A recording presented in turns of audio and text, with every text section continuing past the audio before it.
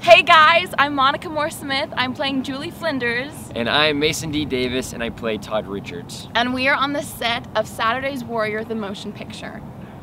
We are doing a Kickstarter campaign to raise money for the film. Mm-hmm. So please go check us out, donate. You can come be a part of the film, be in the film, meet the stars of the film, It's a blast. Trust me, you don't want to miss out on this. So please go donate and support.